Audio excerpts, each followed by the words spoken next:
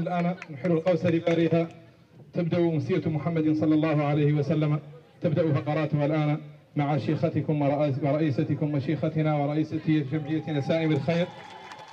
نحيل الحمد لله حمدا كثيرا طيبا مباركا فيه كما يحب ربنا اللهم صل وسلم وتبارك على عبدك ونبيك ورسولك النبي الأمي وعلى آله وصحبه وسلم تسليما كثيرا إلى يوم الدين.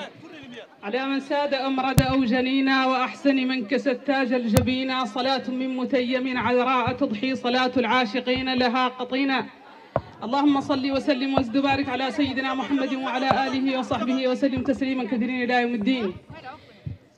أهلا وسهلا بأحباب رسول الله صلى الله عليه وسلم. أهلا بأهل نصرة النبي صلى الله عليه وسلم. أهلا بمن يهبون نصرة لرسول الله صلى الله عليه وسلم ولكتاب الله جل جلاله. النبي صلى الله عليه وسلم كما أخرج مسلم في صحيحه من حديث أبي رقية تميم بن أوس الداري. قال قال رسول الله صلى الله عليه وسلم الدين النصيحة. قلنا لمن؟ قال لله ولكتابه ولرسوله ولأئمة. لأئمة المسلمين وعامتهم فوقوفنا في هذه الليلة نصح لكتاب الله ونصح لرسول الله صلى الله عليه وسلم تصحيحا للحق وإنكارا لهذا المنكر في الخارج وفي الداخل وإظهارا بأن أمة النبي صلى الله عليه وسلم ما زالت تتحرك وتغضب لله ولكتاب الله وتغضب لرسول الله صلى الله عليه وسلم. فأقل الواجب وأقل الإيمان أن نقف وأن نندد وأن نشجب كل فعل يمس وبكتاب الله سبحانه وتعالى وبرسول الله صلى الله عليه وسلم. فهذا اختبار للعواطف واختبار للأحاسيس واختبار لهذه الأمة هل ما زال فيها عرق ينبض وهل ما, زال ما زلنا نغضب لرسول الله صلى الله عليه وسلم. فكل شريحة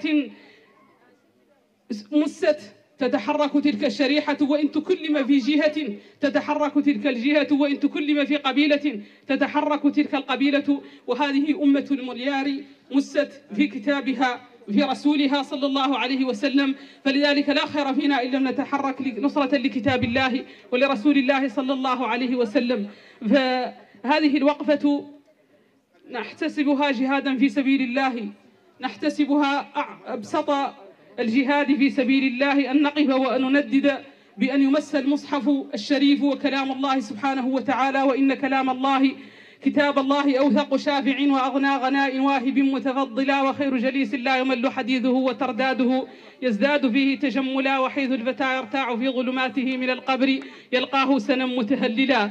فإن أحرق مشؤوم انبعث أشقاها فأحرق نسخة من كتاب الله فهذه الأمة أناجيلها في صدورها. والله سبحانه وتعالى تكفل بحفظ هذا الكتاب. إنا نحن نزلنا الذكر وإنا له لحافظون. فلذلك لا بد من أن نهب نصرة لكتاب الله سبحانه وتعالى وأن يعلم أعداء الله سبحانه وتعالى أن أمة محمد صلى الله عليه وسلم ما زالت تتحرك نصحا لكتاب الله ولرسول الله صلى الله عليه وسلم. فليس هذا من السذاجة ولا من البساطة. فقد يقول القائل أننا نتحرك إن تحرك أبسط إنسان في الغرب وأحرق مصحفا أو أساء فذلك ليس من البساطة وإنما هو إظهار للحق فجلستنا هذه يعلمون بها. يعلمون أننا ننكر هذا المنكر ننكر إحراق كتاب الله جل جلاله ونندد به ونشجبه وإن كان هذا هو أضعف الإيمان. وننكر كذلك كل ما يمس به رسول الله صلى الله عليه وسلم أحرى إن كان في أرض المنارة والرباط أحرى إن كان من أبناء جلدتنا من بين من أهل شنقيطة فهذا منكر. نسأل الله سبحانه وتعالى أن لا يواخذنا به وأن يتوب علينا جميعا إنه على كل شيء قدير. فأقل الواجب أن نتحرك نصرة لرسول الله صلى الله عليه وسلم أن يذكي هذا التحرك في قلوبنا محبة لرسول الله صلى الله عليه وسلم أن نتحرك نصرة لرسول الله صلى الله عليه وسلم ولكتاب الله. فهذه الخطوات نسأل الله سبحانه وتعالى ألا تضيع وهذه الجلسات نسأل الله ألا تضيع وهذه الأوقات نسأل الله سبحانه وتعالى ألا يضيعها. فما ضبرتم قدما ولا تحركت بكم سيارة ولا أنفقتم دقيقة وقوفا لنصرة رسول الله صلى الله عليه وسلم ولكتابه إلا كان ذلك جهادا في سبيل الله. وكما ذكر الشيخ ستشهد هذه الأرض بما عملتم عليها. إنا نحن نحيي الموتى ونكتب ما قدموا وآثارهم. فهذه الجلسة ستجدونها يوم تجد كل نفس ما عملت من خير محضرا وما عملت من سوء. تود لو أن بينها وبينه أمدا بعيدا. فربكم جل جلاله أعلم بما في نفوسكم. فيعلم أنكم ما اجتمعتم إلا نصرة لكتابه ونصحا لرسوله صلى الله عليه وسلم وإنكارا لهذا المنكر وتحقيقا لأبسط الواجب من نصرة رسول الله صلى الله عليه وسلم. لتؤمنن به ولتنصرنه. أخذ هذا الميثاق على أنبياء الله جل جلاله قبل النبي صلى الله عليه وسلم. فنصرة رسول الله صلى الله عليه وسلم من الواجب ومن أوجب الواجب علينا نصرة رسول الله صلى الله عليه وسلم وإن يذاد عن عرض رسول الله صلى الله عليه وسلم فأحلم أمة النبي صلى الله عليه وسلم هو الصديق أبو بكر رضي الله عنه. تعلمون الكلام الذي تكلم به لعروة بن مسعود يوم الحديبية فما كان أبو بكر بذاء ولا كان من أهل الفحش ولكن حين قال عروة بن مسعود للنبي صلى الله عليه وسلم ما أرى حولك إلا وشابة من الناس جدير أن يفروا عنك. فهذا الكلام مستفز لرسول الله صلى الله عليه وسلم ولذلك كان ذلك الكلام من الصديق. فحين يمس رسول الله صلى الله عليه وسلم حين ينال من عرض رسول الله صلى الله عليه وسلم فيجب أن نتحرك لذلك ويجب أن نتكلم ويجب أن نقف ويجب أن نقعد ويجب أن يرى فينا أن فينا محبة لرسول الله صلى الله عليه وسلم ويجب أن نتذكر جميعا أولا وآخرا في أثناء وقوفنا وفي أثناء ذلك أن هذا نتاج لأيدينا. هذه تربيات لأبنائنا قمنا بها. خلطة. هذه شغلتنا في الأجيال اللي تؤخذ كاملة. أجيال سلمت بعضها للغرب ليربيها وبعضها سلم لجهلة. ولا قط قال لهم أخبار النبي صلى الله عليه وسلم قط علموا به قط ربوا على محبته ولا قط استمعوا له. واللي منهم مشى لا يتعدل الراحة ما ينقاس به النبي صلى الله عليه وسلم ينقاس به الأنصار ويشوف ذاك العري ويشوف ذاك من معصية مولانا. هذه نتيجة أيدينا وهي تربيتنا. قال له يداك أوكتا وفوك نفخ. هذه شغلتنا. ولا تستغربوا إلى يتم الوضع ماشي للصيفة. الله يلطف بذاك الله يأخذ لنا كامل من النتاج.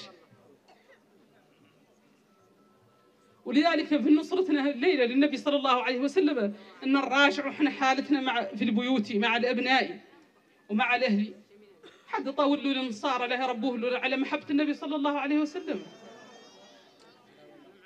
ألقاه في اليم مكتوفا وقال له إياك إياك أن تبتل بالماء. يقولوا لهم عودوا مؤمنين وأنتم أعطيتهم للنصارى ربوهم لكم هذا ما عنده معنى؟ تقول لهم عودوا بقول النبي صلى الله عليه وسلم هم قاع ما قد اجتمعتوا عليه يوما. بيتكم يشوفوا يجتمعوا فيه القبائل ويجتمعوا فيه الناس ويجتمعوا فيه أصحاباتكم ويجتمعوا فيه الناس كامله يا غير ما قد قعد فيه درس على النبي صلى الله عليه وسلم ولا قد تحدث فيه عنه وما يتحى لهم الجابرين من التربية في البيت ما هو فيه والجابرين من التربية في المدارس ما هو فيه. ولذلك هذا منبئ خطر أن الجيل الله يجينا ما فيدوا خبر عن النبي صلى الله عليه وسلم ولا عن أصحابه. إذا تسوي لهم يعرفوا اللاعبين كاملين ويعرفوا الناس كامل المشاهير. غير ما يعرفوا أبو بكر ولا يعرفوا عمر ولا يعرفوا حد منهم. والمحبة ما تقول تخلق ما هم المعرفة؟ المعرفة سابق المحبة. ولذلك العلماء ما بخلوا شيء من التعريف برسول الله صلى الله عليه وسلم لتزداد محبته في القلوب. وصفوا خلقه الكريم. وصفوا خلقه صلى الله عليه وسلم. حتى هيئات مشيته وهيئات جلوسه ليتعلق به قلوب المحبين. ولتعلم هيئة هذا الرسول الكريم صلى الله عليه وسلم لتتعلق القلوب به. لذلك من من رسائل هذه النصرة أن نراجع تربيتنا لأبنائنا وبناتنا.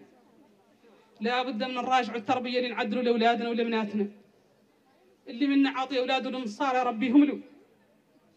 يعرف عنه بعد ما ما طرحهم في بلاد مظنة للإيمان. ودور يسأل عنها بين يدي الله فأبواه يهودانه أو ينصرانه أو يمجسانه. ما أنك لاهي تسولي في قبرك عنهم كانوا يعرفوا الفرنسية والله والله الإنجليزية. لا لاهي تسولي عنك كانك غرست فيهم من الإيمان ما يعرفون به الرحمن. هو المسؤول عنه. هذه علوم دنيا. وانت أصلا ما هي واجب عليك؟ الوالد. الواجب عليه من التعليم ما يعرف به الولد الله والدين. هذا هو الواجب عليه. الآخر ما هو واجب؟ وتفرطون في الواجب والدور شي ما هو واجب. ذاك من النافلة مهم. يا غير ما هو واجب عليك من الخط. الواجب عليكم تدرسوا فيه مشي إلى الصبح متوا. لا يعودوا نافعينكم. هم لين ما تقرسوا فيه مشي اللي ما أرامالكم وتموتوا قدر إن شاء الله. ما هم نافعينكم. ما تلاقوا مستغفرينكم لا هم داعين لكم لا هم مصدقين عنكم. لا هم مذكرينكم. ولد صالح يدعو له بالخير. من الليلة يلا نراجعوا اللي نعدلوا لأبنائنا من التربية. إحنا تاكلين على ان إحنا أصلا نبغوا النبي صلى الله عليه وسلم. إحنا ما خلقنا نبغوا النبي صلى الله عليه وسلم إحنا لا أجبرنا بيئات رباتنا على النبي صلى الله عليه وسلم. جزاهم الله خيرا يقال لين ما نربوا إحنا النشء اللي دار مولانا بين يدينا. ما يقد يبقي النبي صلى الله عليه وسلم؟ ما يعرفه.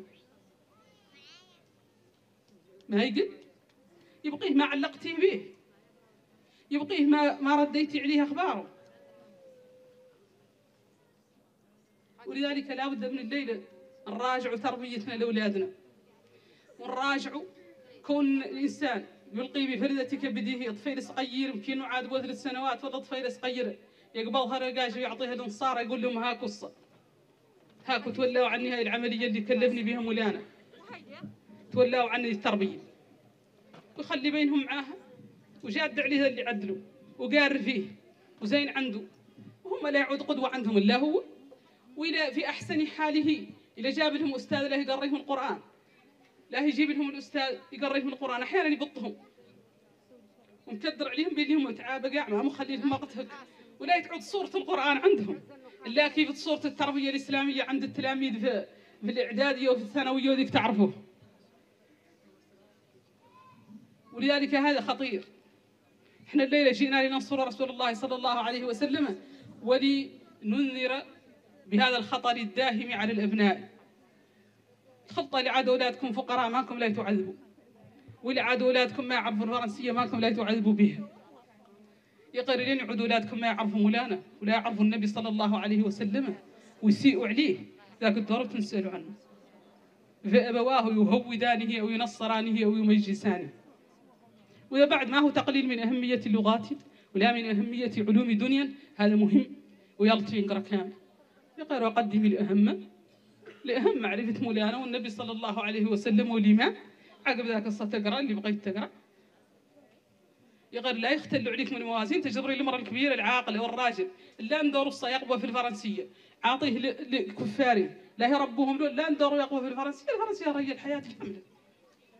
ما تقويه بالإيمان ولا تقويه بالقرآن ولا تقويه بأنه يعود شابة وفقراش ما يعرفوا باش يصلوا. وانت لا عاطيه ذوك الدرهم يقووه لك بالفرنسية. وقع ما عرف مولانا ولا عرف الصلاة. وعاد القدوة عنده هذا الاخطر إنكم أنتم لين تعطوه منهم. شاكينهم ما زالوا أولادكم. هم يربوا خرصوا الوقت اللي يعطوا معاكم والوقت اللي يعطوا معاهم. وخرصوا من الاقتداء معدلين بيهم. وذا من الاقتداء معدلين بيكم أنتم. كانوا واحد. وخرصوا كانكم اللي ما بترتوهم من المجتمع. ما تلاقيهم أنتم تاريخكم ما يقراوه وجغرافيتكم ما يقراوه وقصصكم ما يقراوه ونكاتكم اللي يضحككم ما هو اللي يقرأه. ما تلاقوا منكم وهذا خطير. يلا مدة انتبه له وتعرف عنه ما هو ما هو نتيجة مسألة بسيطة. تربية مسألة خطيرة. وأول ما يربى عليه الإنسان أنه يربى على معرفة الله ومعرفة رسول الله صلى الله عليه وسلم والصحب وأنه يربى على قدر من الإيمان. وهذه السيرة النبي صلى الله عليه وسلم ومعرفته هذا قد ما من الأحكام العينية. يغير من المسائل اللي تربي في الإنسان الإيمان وتقوي عقيدته. ولذلك جاء نص ثلث القرآن جاء قصص على النبي صلى الله عليه وسلم. لأن يعني القصص يستأنس الإنسان به ويتعلق. ولذلك قال النبي صلى الله عليه وسلم اليوم قص عليه قصة 18 نبي. قال له أولئك الذين هدى الله فبهداه مقتدي. هو أفضل منهم.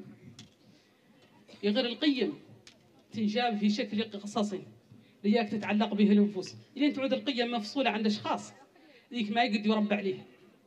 ولذلك القيم لن يعطينا مولانا قيم. جات مجلية فاشخاص كيف النبي صلى الله عليه وسلم؟ وكيف الصحابة؟ هذه رأينا يا أخوتي مراد نقدر نردوهم زيني. وقصص ما هو القصص التافهة اللي كلها لابد قصتها تقرأها لشاشرتها تلقدهم على شيء ما هم قابل لذلك هذه الرسالة الأولى من رسائل هذه النصرة أن الله الله في تعليم الأبناء. ويا الله نراجع المسألة. ونعرف عنها خطر حقيقي. وشفناها رأي العين. ويا الله تراجع. هاي المسألة يا الله تراجع. مدارس أجنبية هو دولة. والله دول. أعطاها القانون الحق بأنها تفتح مدارس في سفاراتها. لأنها ما هي راضية عن تعليمكم ولا تربيتكم ولا دينكم أصلا قاع موزين عندها ولا يتبنيتوا إحنا أولادنا اللي نربوهم في مدارسنا على مناهجنا. تقول أنتم مهصة لا نعطوكم إحنا أولادنا. أولادنا إحنا اللي قاعدين في بلادهم وأهلهم. وقرايتهم المسلمين ومن لا نعطوهم لكم أنتم تربوهم وتعلموهم ولذلك هذا خلل كبير. سواء اللي منه خالق خالق بقانوني وسواء منه اخترق فيه القانون وسكت عليه.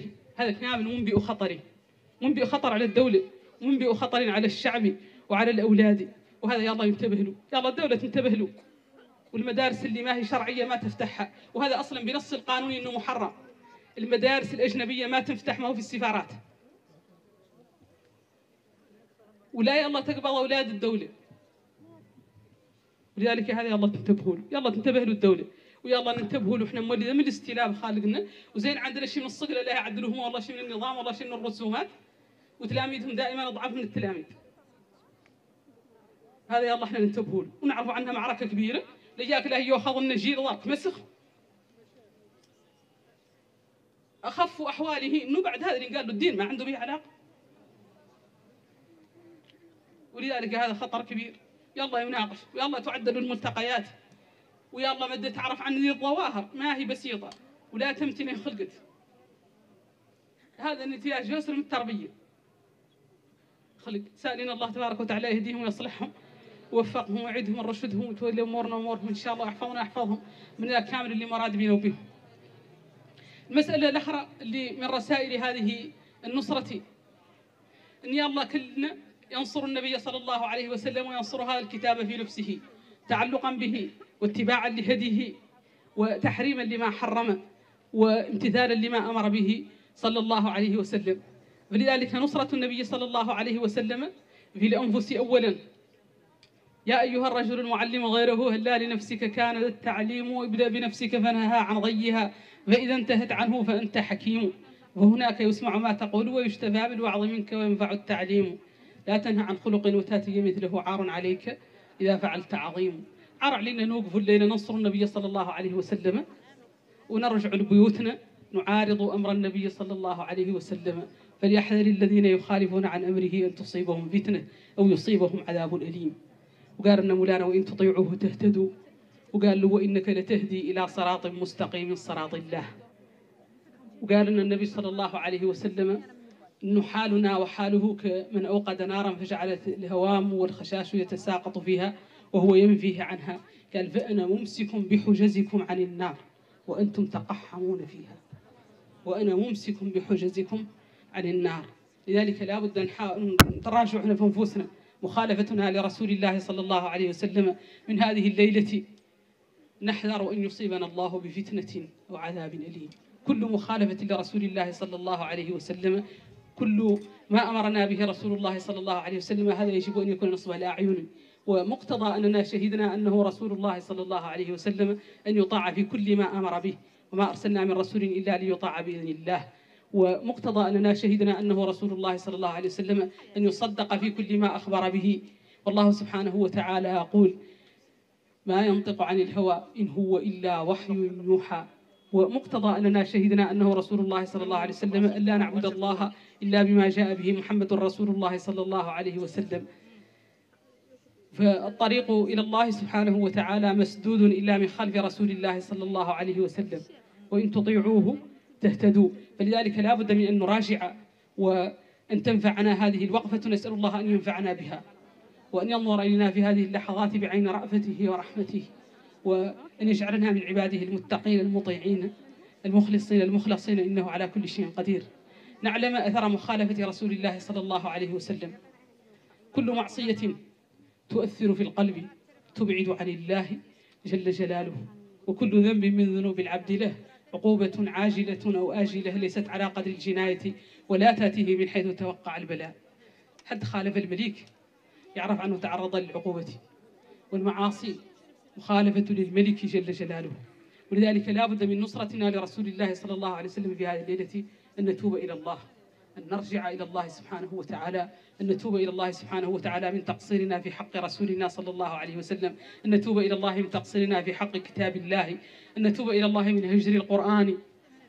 من نصرتنا لهذا الكتاب أن نتوب إلى الله من هجره.